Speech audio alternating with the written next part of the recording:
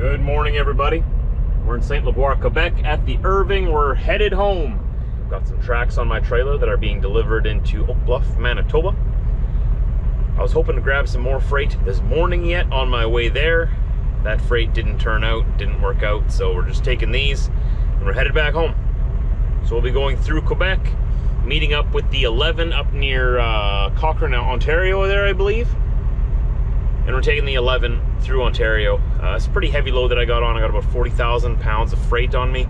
So it works out better. It's shorter to go the 11 from where I am now, but that highway has less hills than 17, which is the other highway which takes us through Northern Ontario to Manitoba, back where I'm from. So let's get out there. Home's not getting any closer, is it? Gotta get these wheels turning.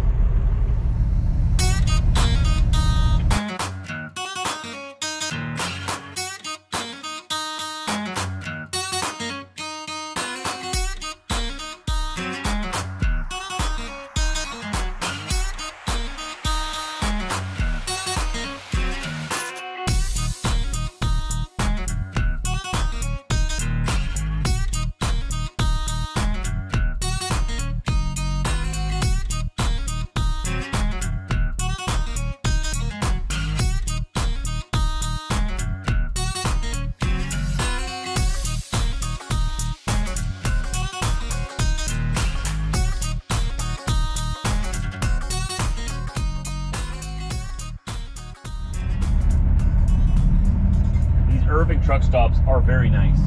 But if you come to this one in uh, St. Liboire, Quebec, uh, just be ready that after about 8 p.m. or so, there's no more showers. Uh, they don't clean their showers in the evening and at night. So I went in there yesterday at about 11 o'clock and I was going to go and have a shower. And no showers were clean. So I had a shower this morning. They start cleaning them again at 8 a.m. Very nice showers, very clean, but they don't clean them at night. Just so you guys know. It's kind of unfortunate. But it is what it is. It's going to be two long days to get me back home. Two long, long days. Irving truck stops, correct me if I'm wrong in the comments. I believe they're based out of New Brunswick or Nova Scotia out in the Maritimes. You don't see them out west though. There's no Irvings out in the west. Out there you got Flying J. You don't see Flying J's out here, so that's I guess you either get one or the other. A little bit of a gong show here right now.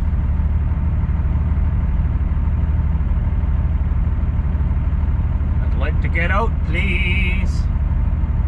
You got this plow sticking way out here. I don't want to hook onto his plow. There we go. All right, we're good to go. Guess I should turn my radio on in case someone's trying to get a hold of me.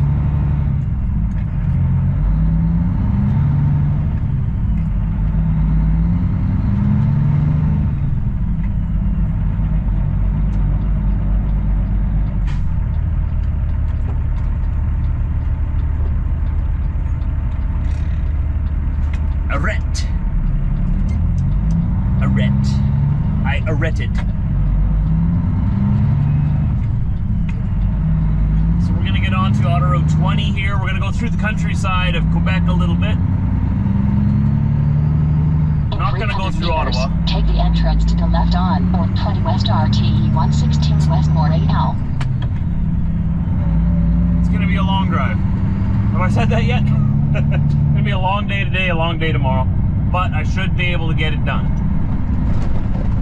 We have home at the end of this trip, so that's an extra little bit of motivation. Gonna grab a little bit of fuel here in Quebec before we head up in Ontario. I don't like doing this because fuel is so expensive in Quebec. I'm just gonna grab just enough to get me into Ontario and don't get me wrong, fuel's really expensive in Ontario too. meters, turn left on Chemin for A Grave Cheval. Gotta figure out where the driveway is here first. But fuel is cheaper, less expensive than here. I think this is the driveway here. Oh what? I can't get in from this direction? How is this made like this? I gotta Interesting, interesting. Okay, we made it. It's all right. So like gotta say, fuel is very expensive in Ontario and it's expensive in Quebec, but it's the most expensive in Quebec. You don't like, you, you shouldn't buy fuel in Quebec if you don't have to. So we're only gonna get what we need. Fill up one side.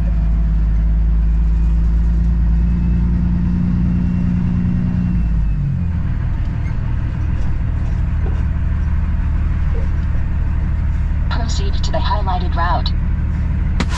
Hold on, Karen.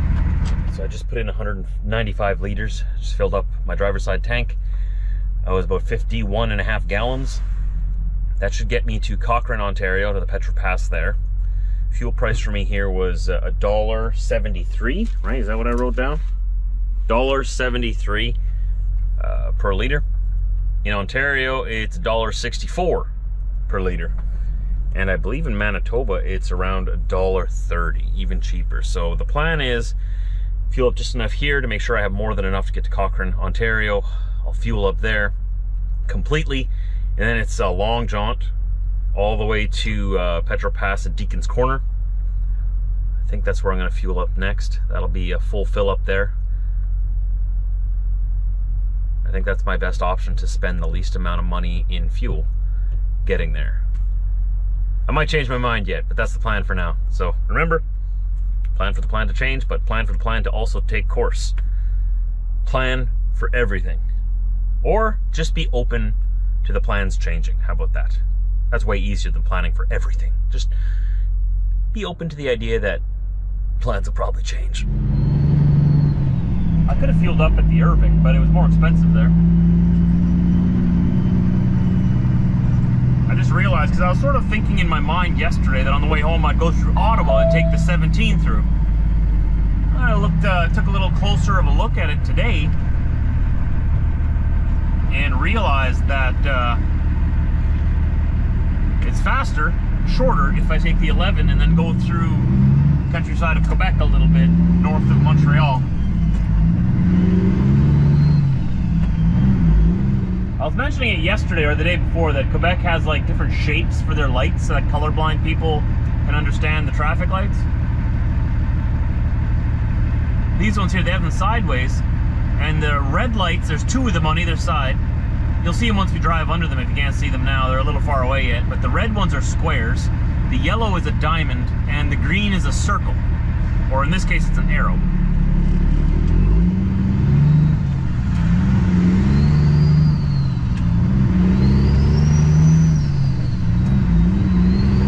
I haven't seen 500 that anywhere else. meters, turn right on. Boulevard Armand Frappier.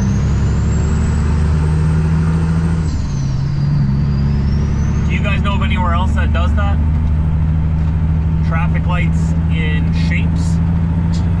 It's still the same colors, but if you're colorblind, then you can at least, you know, if it's a square, that means stop. If it's a circle or an arrow, that means go. If it's a diamond, that means it's a yellow light. I think that's pretty neat.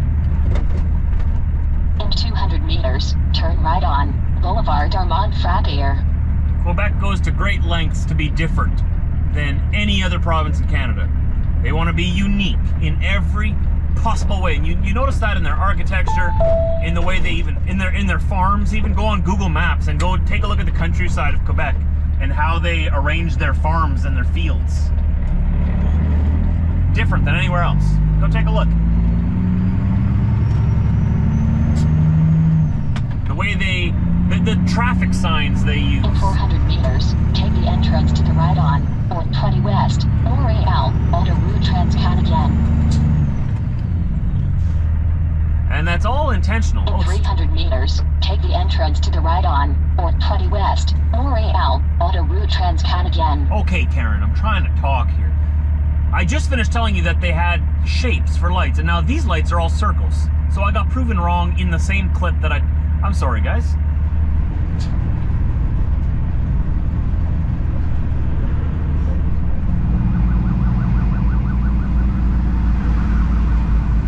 Oh, there must have been accident ahead or something.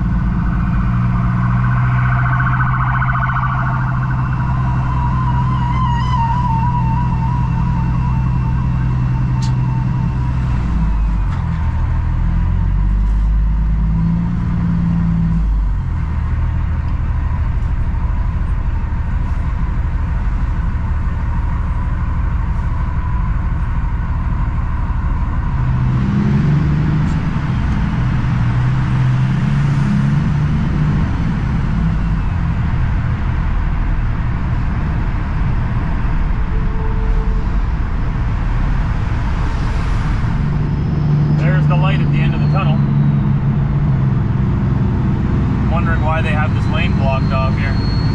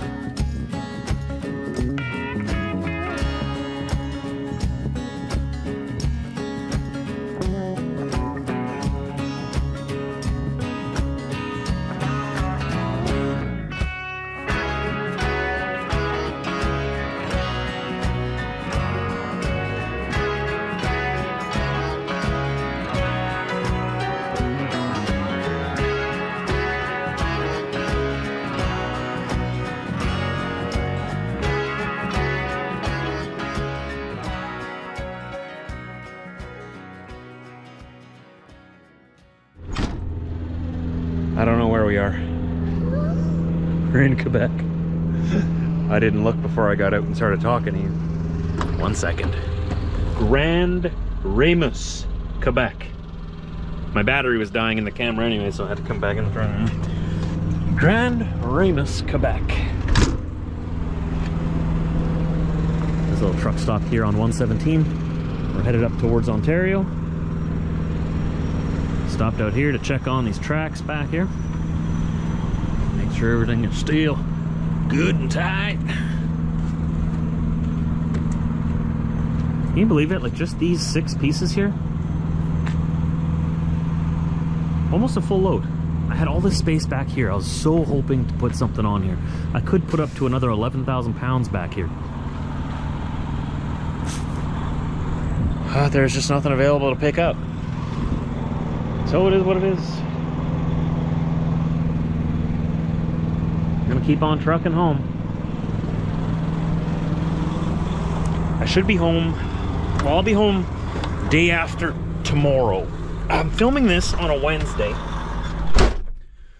So, all day into the night tonight yet. I have another eight and a half hours I can drive yet. I want to get into Northern Ontario. I'd like to get past Kapuskasing to Hearst.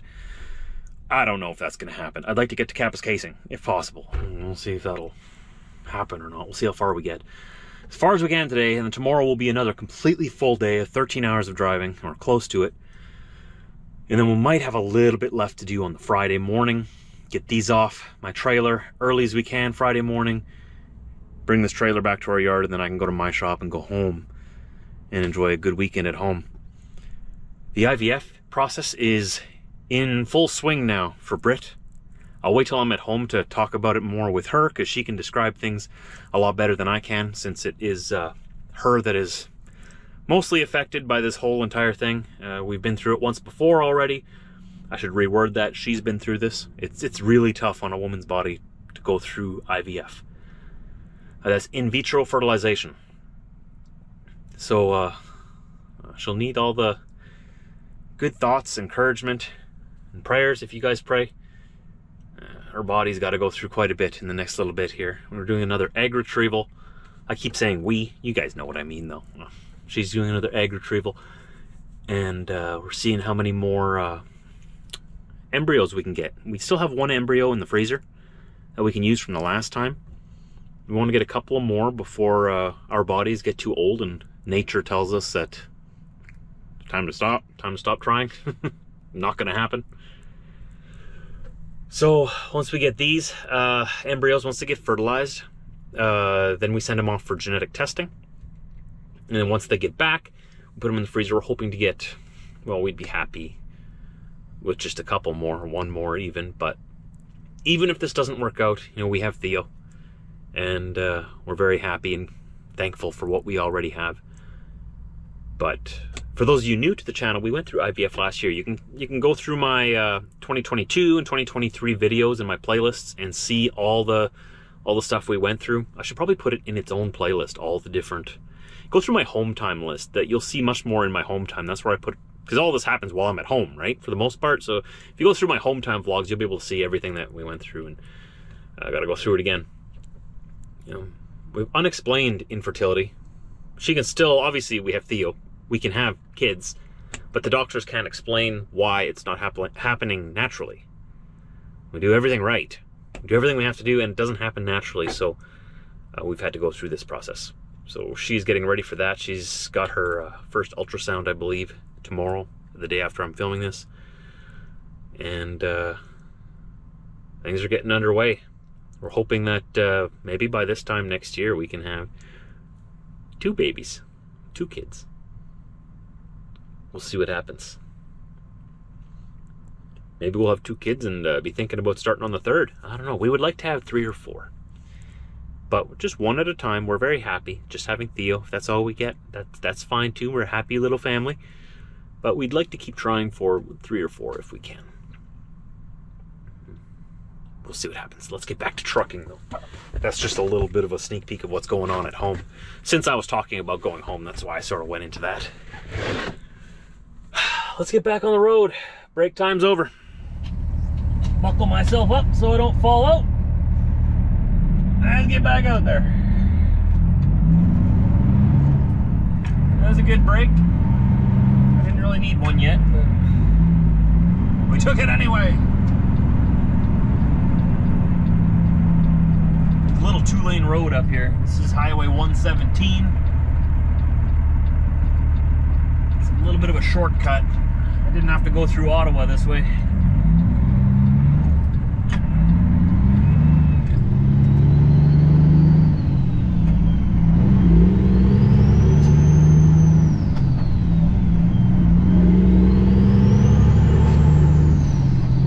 Oh, here's another log hauler. Has he, has he got his load tied down? Not that I can see. But like we said, like, like you guys were saying in the comment sections yesterday, very often they use very thin steel cables to tie the, the logs down, so maybe I just didn't see them. It looked like that tied down either. It could just look that way, you know? I'm not a log hauler, so I don't know how that works. I don't want to judge them. You guys do you. It's a hard grind. I respect the grind they're on.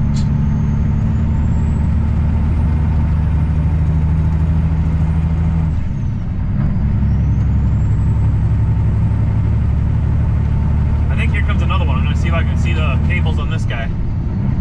Next truck coming, I think he's got logs. It's hard to see when you're zipping past him going the other way. Yeah, he's got logs.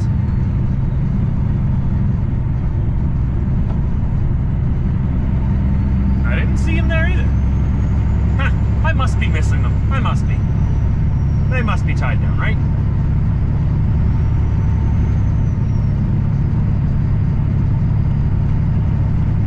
Oh, here's some deer up ahead.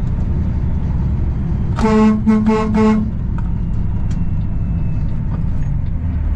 off the road, man.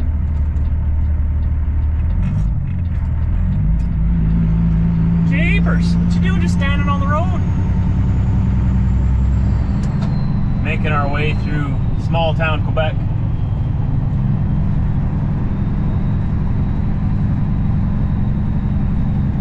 Beautiful little towns out here. Slowly getting our getting our way close to closer, getting our way closer, slowly making our way closer to Ontario. I don't know what town this is though. I haven't seen a sign.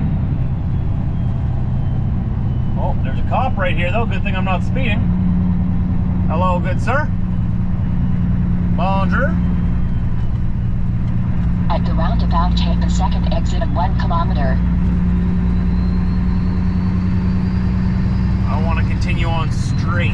I see that truck sign says I can continue straight, no problem.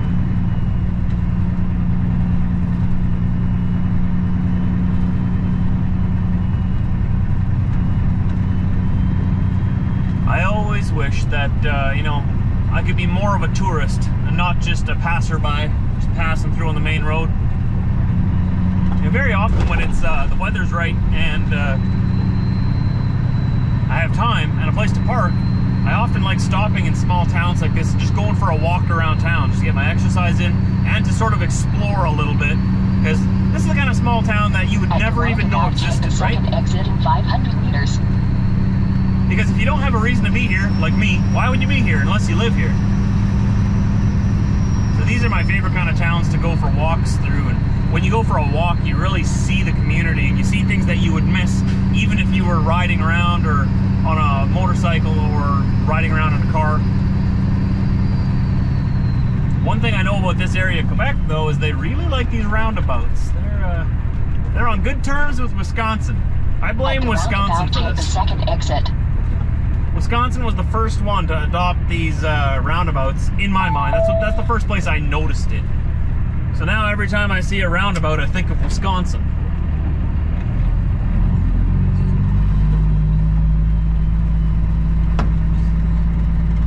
Look at that. Continue road for 74 kilometers. Still a ways away from Ontario. Yikes! It's taking a while to get out of Quebec.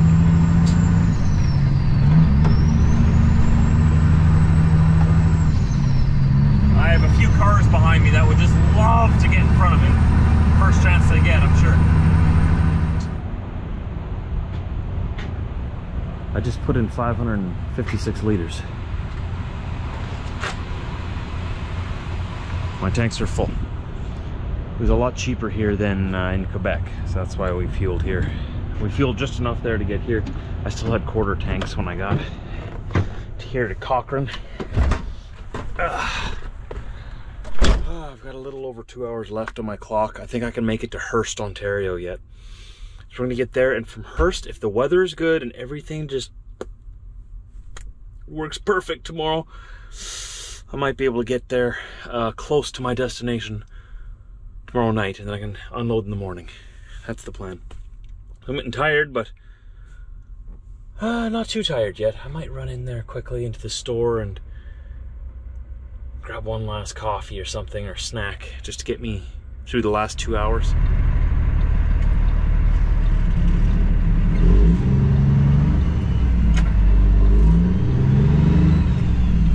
Looks like the highway is nice and quiet. I like that.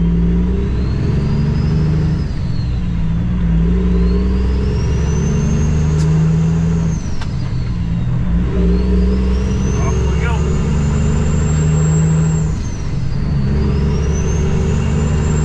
Just a little bit further.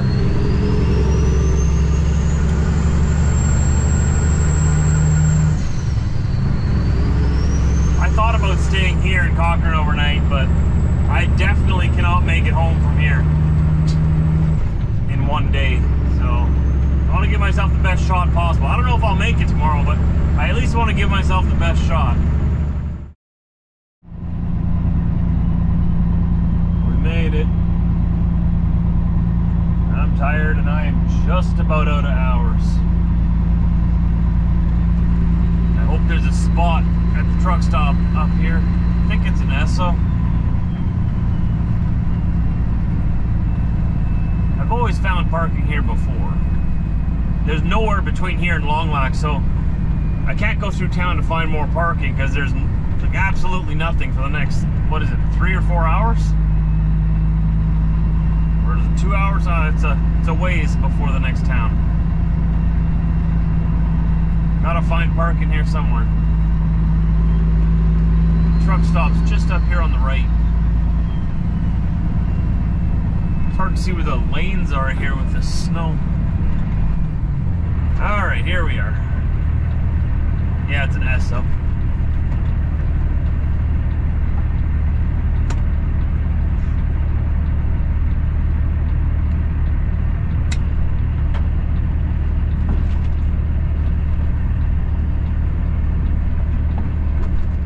Oh yeah, I see parking already.